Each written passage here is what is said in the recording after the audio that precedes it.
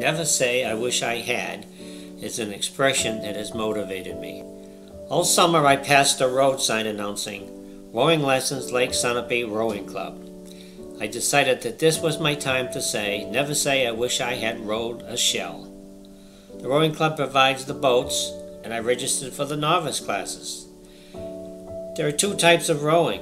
In sculling, each rower has two oars or sculls, one in each hand. In sweep rowing, each rower has one oar held with both hands. I would experience both scull and sweep rowing.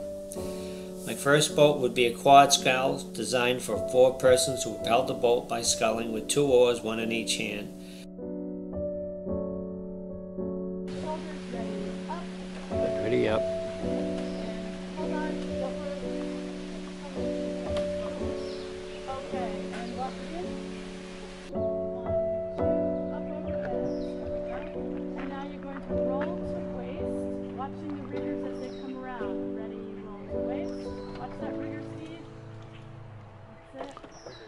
And gently place it in the water.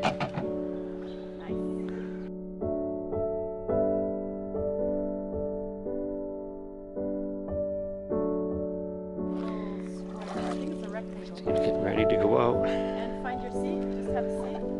Here we go.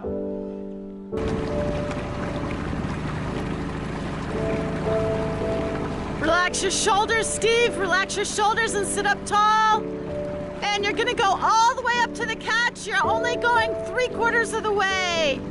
All the way up with your seat. So we're thinking about low hands on the recovery, which is this part right here, all the way up into the catch. Here we have Steve's first time in the single. This is called a Dolphin. It's a Peinert, made by Peinert Boat Company. And um, He's been on the water for about a minute and a half now. He's very tense, a little bit shaky.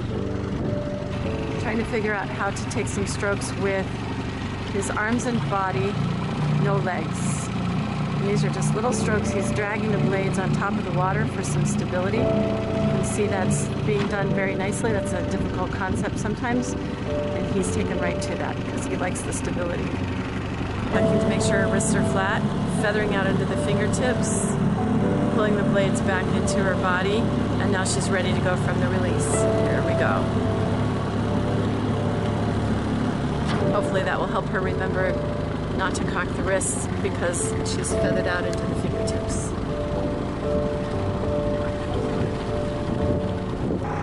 Okay, here comes the matching double.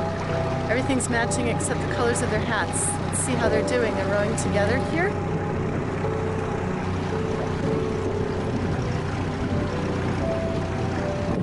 It's got these nice big long strokes.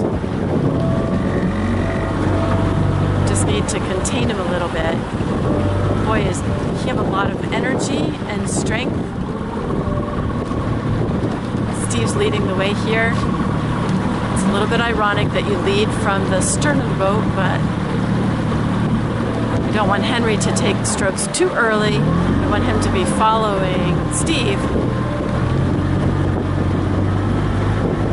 Steve can't see behind him, so it's most important that Henry do the following and Steve do the leading. So here we have Faith coxing, and um, we have an experienced rower in stroke seat, seven, six, and five, as well as out in two seat we have um, guys that have never been on the water before. Um, three and four have been rowing for a little bit, so we're learning how to set. We're learning how to swap in pairs. Never had a boat uh, figure things out this quickly. I'm a little bit awake here, so I'm sorry for the bouncing of the lens around. Um, they're moving together. This is not pretty growing.